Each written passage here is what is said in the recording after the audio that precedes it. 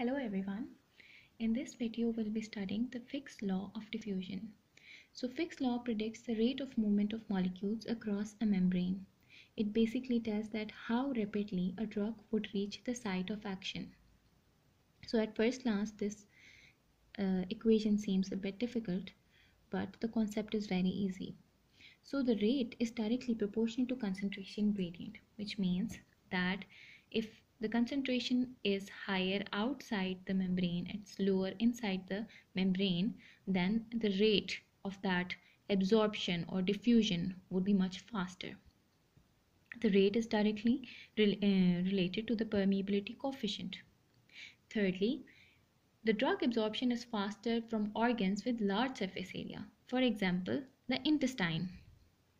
But it would be a bit lower with organs that have a small surface area, for example, the stomach.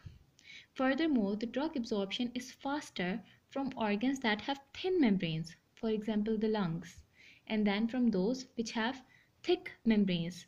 You can take the example of intestine or the skin. So, all in all, when we uh, put these equations in the formula, we see here that the rate is directly proportional to concentration gradient, permeability coefficient, area and inversely proportional to the thickness. That is how we'll calculate the rate. So